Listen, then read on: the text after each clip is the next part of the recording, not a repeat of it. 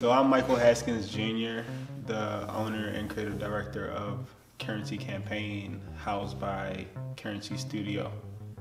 And I'm 27 years old, and I have been running this brand since I was 19 years old.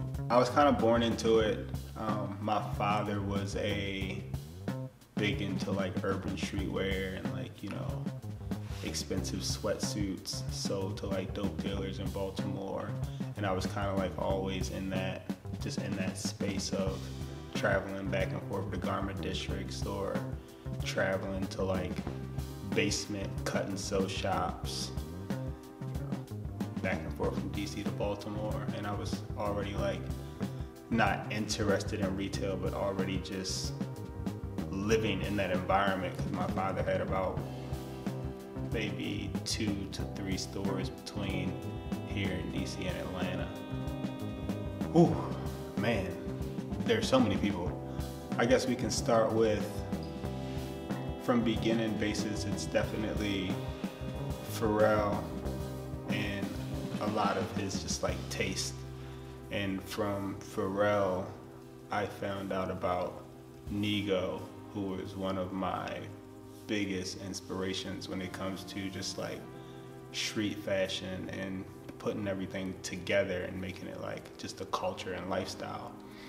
As far as high end, I've really been inspired by Marc Jacobs and just seeing how he bridged that gap between like luxury and urban and like basically like I feel like he was the one who let rappers in that luxury game and I kind of like appreciated him for that and on an art level I mean this is cliche but Andy Warhol is like my guy he's like my fucking like the guy you know that's like taught me just to like let my art live and to push other people around me's art to live and to like be selfless in this industry because there's no right or wrong way to do it. It's just like how you feel like you should do it.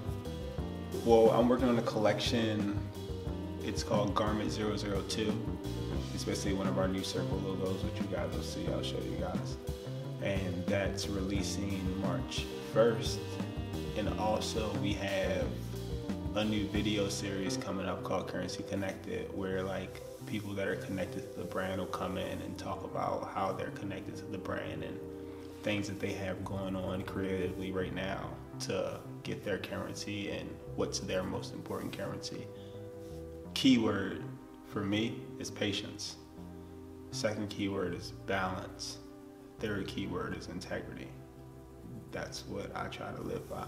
That's what I feel like a lot of people need to like base their work and their effort around.